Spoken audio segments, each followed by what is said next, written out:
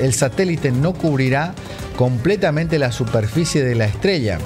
En su lugar se eh, formará un anillo de fuego visible en varias regiones del país que ofrecerá una experiencia única para los amantes de la astronomía. Será una oportunidad excepcional para observar cómo la luz del sol se transforma y se desdibuja en el horizonte en lo que será espectáculo visual inolvidable. Se estima que la franja de máxima visibilidad pisará eh, por el sur, pasará por el sur de Chile y la provincia argentina de Santa Cruz. Ah, bueno, donde se podrán apreciar las mejores vistas. Es lo que dice la información que estamos recibiendo. Para viajar a Santa Cruz, ¿querés? Dice que la NASA va a hacer una transmisión en vivo en sus canales oficiales del momento en el cual el satélite cubrirá parcialmente al astro rey, de la misma manera que eh, emitió el eclipse solar total en abril, que fue visible en Canadá, Estados Unidos y México. A ver, los mejores lugares parece que no, no lo tenemos nosotros, ¿no?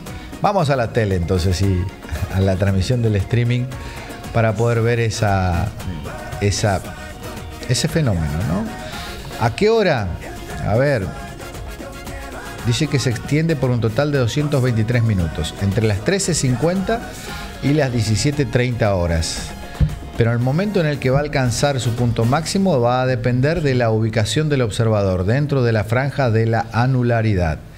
El anillo de fuego se verá en el cielo durante unos pocos minutos, cerca de las 17.25. La magnitud del eclipse en esas regiones será de 0,9326, lo que significa que la luna cubrirá alrededor del 93% del sol. ¿eh? Y así se va a ver en la transmisión. ¿Qué sé yo? Miremos el cielo, por ahí cazamos ahí un momento, en algún momento. ¿no? Dice que Santa Cruz y Chile serían los que mejor van a ver este anillo, eh, este anillo que obviamente forma como una especie de eclipse, ¿no?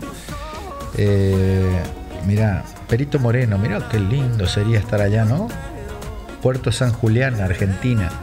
Puerto Deseado, Argentina. La isla de Pascua en Chile. Eh, y bueno, todo, todo Chile el resto, ¿no? es lo que dice la crónica y la información sobre este fenómeno que reiteramos, la NASA va a estar haciendo la transmisión en vivo y en directo de este anillo de fuego.